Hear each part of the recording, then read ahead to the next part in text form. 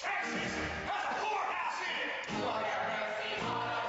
Texas has a whorehouse in it. Ruta Lee, back at Casa Manana and again in the best little whorehouse in Texas.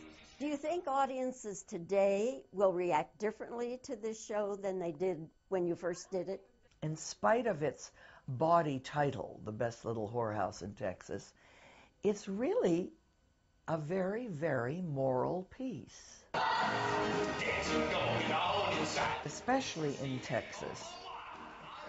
The sort of semi inside material about the places and the people hit home harder than it does in Chicago, Des Moines, or New York. Um, I'm anxious to see. But The movie I thought was not at all related, except in title practically, and the names of the characters, to the play.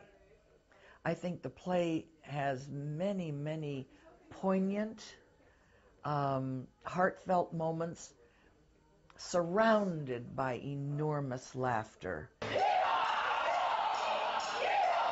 You've done this show in the round, and now you're doing it in a proscenium. I love the round more than anything. Proscenium, you are stilted. You have to play certain things out this way rather than naturally. In the round, it's all natural. Just keep it moving and, and it's natural. Most people know about your movie background that you started when you were very, very young. Funny Face, and there's Ruta Lee with Fred Astaire and Audrey Hepburn. Fred Astaire became a friend. I used to sit and chat with him, and as you know better than anybody, he was a very quiet, sort of reticent man and a little shy about mixing with, with people.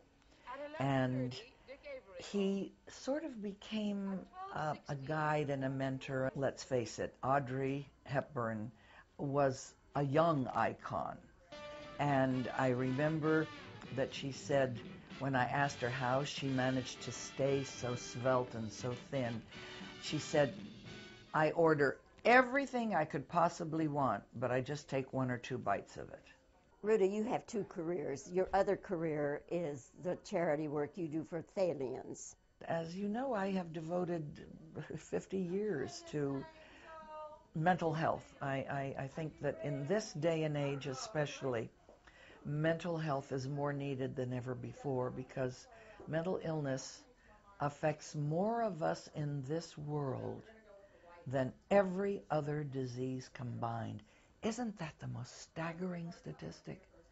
And we've got to do something about it. So that's what I'm working on with my best buddy, Debbie Reynolds.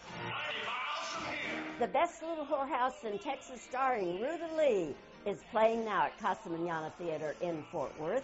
It'll be here through October 31st. Matinees every Saturday, every Sunday. And this is Bobbie Wygant for NBC5.